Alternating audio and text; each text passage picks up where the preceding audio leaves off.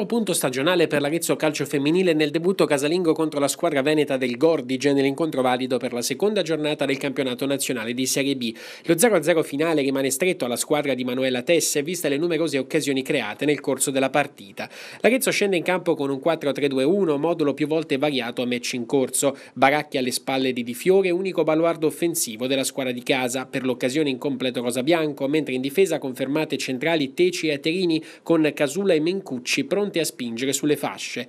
Il match inizia subito forte per l'Arezzo che fin dai primi minuti lascia intendere al numeroso pubblico presente allo stadio Lorentini di Pescaiola le intenzioni di mettere a segno nel calendario la prima vittoria stagionale. Tutte le azioni passano dai piedi di Verdi, abile a tessere le trame di gioco dell'Arezzo con verticalizzazioni e lanci per gli esterni. Nonostante il Gordige non riesca mai ad arrivare dalle parti di Antonelli, nella prima frazione di gioco la prima vera occasione dell'Arezzo arriva solo al 25 calcio di punizione dalla tre quarti calciato da Casula conclusione di potenza deviata in angolo da Cattelan.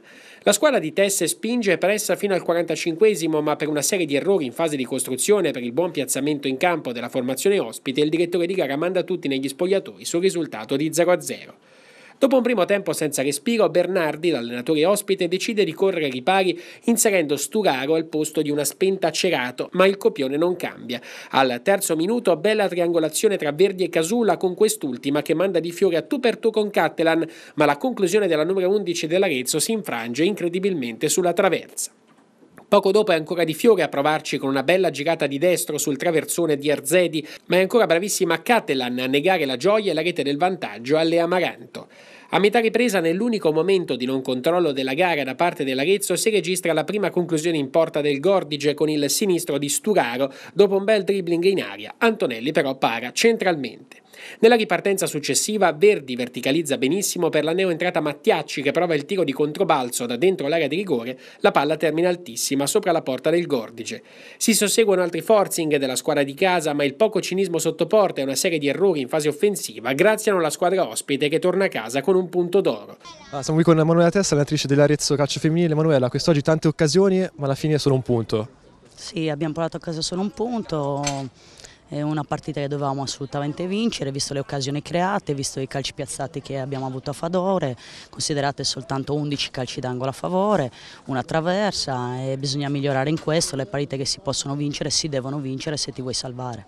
Questo è un punto, un pareggio comunque dove, dove poter ripartire, dove poter lavorare per ripartire per cercare comunque poi di eh, raggiungere il traguardo della salvezza o anche qualcosina di più.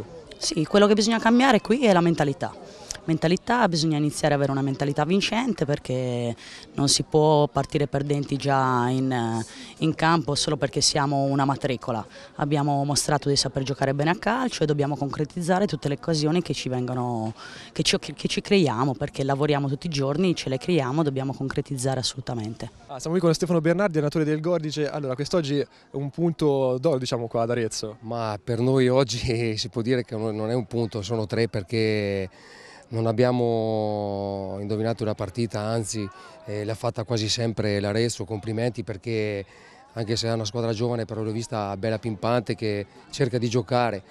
Il campionato di Serie B è tosto perché trovi sempre squadre magari qualcuna che gioca bene a calcio, qualcuna che è un po' più fisica e noi diciamo che anche l'anno scorso eh, siamo nella parte bassa della classifica, centro-bassa, però eh, tutte le partite ce la giochiamo e cerchiamo di fare bene. Comunque complimenti all'Areso che, che ha fatto un'ottima partita. Quindi dopo il nono posto della scorsa stagione l'obiettivo di quest'anno sarà comunque mantenere sempre la salvezza. Eh sì, no, per noi che siamo una società che non ha degli obiettivi importanti come tante altre società, altre squadre, eh, puntiamo alla salvezza e ogni domenica eh, cerchiamo di portare via punti sui campi che andiamo a giocare, che è sempre difficile tutte le domeniche.